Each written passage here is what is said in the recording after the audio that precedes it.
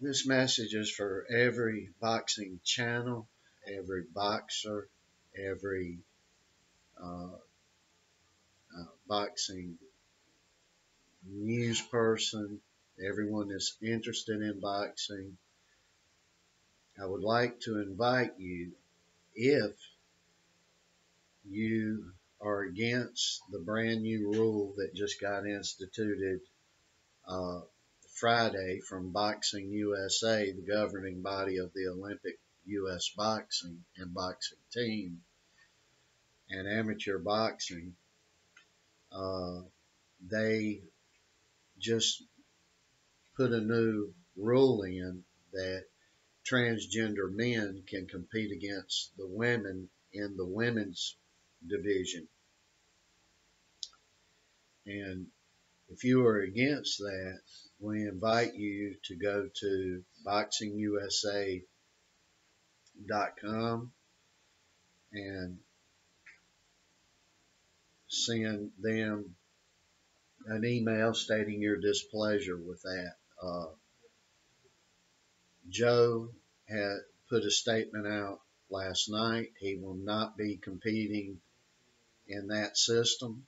He will not be uh, representing any portion thereof of that system until that new rule is rescinded and totally taken away.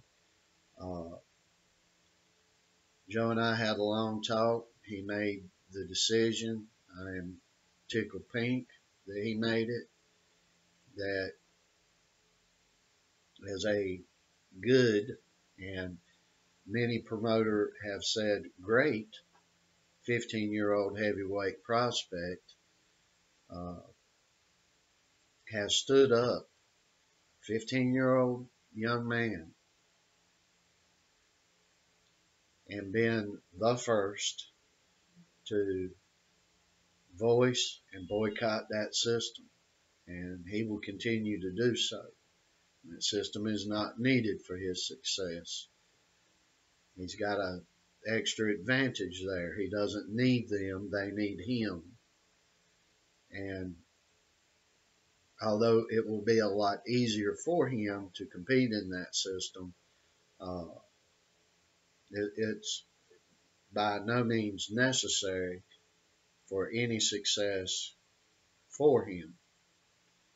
And uh, I'm inviting all of you amateur athletes to stand up, put a video short or a over one minute regular video out on your social medias stating that you will not compete in that system if you feel convicted to do so.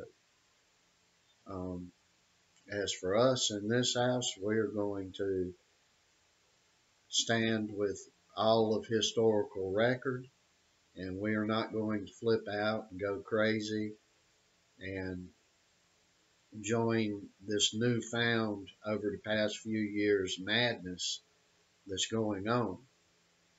And you will regret if you do partake in it. You will regret it. Uh, and I don't want to see you young guys living that type of regret in your life as well. So we're inviting everybody go to Boxing USA online. Uh, if you are against men uh, competing against women in the women's division, in Olympic and amateur boxing in the United States, please voice that to them. Thank you.